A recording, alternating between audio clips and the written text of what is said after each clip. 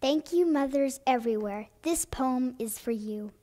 You can never be appreciated enough. You can never be thanked enough for the gift of just being you.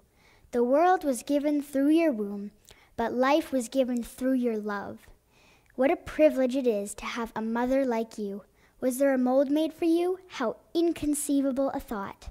The most devoted, the most respected, the most encouraging, the most dedicated, the most one woman could be. The, what is a mother? A mother is you, the ultimate definition of motherhood. If every child had a mother like you, the sun would never set. Happiness rises with you, never to be eclipsed. A mother's love is as priceless as priceless gets. We love you, Mom! Thank you, mothers everywhere.